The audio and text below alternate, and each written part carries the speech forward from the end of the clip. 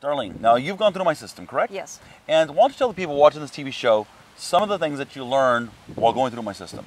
Uh, I learned how to evaluate a house. Like I used to go down the streets in a neighborhood like this I wouldn't want to invest in. But since your system, I see houses like this uh, and I get excited. I want to I want to uh, stop, evaluate the situation, get out and look around the house. Uh, to see what's necessary, uh, a paint job, whatever, the, the tree trimming, you know, just little things.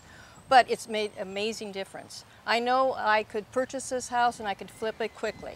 There, it's not a problem. I'm, I'm confident. Ever since I took your course, I'm very confident in the whole situation. If you want to go out there and gain the confidence to be able to get financial freedom, to be able to learn the step-by-step chronological order ABCs of how to make money in your real estate market and in your backyard, how to make big sums of cash so you can go out there and help your family or contribute to society. Whatever it is that's important to you, real estate can help you get there, and my system is a must, in my opinion, to be able to help you do this. But it all starts by going to the free live event, signing up right now at the 1 800 number. Seating is limited, so take action right now, and we'll see you on the other side of financial freedom.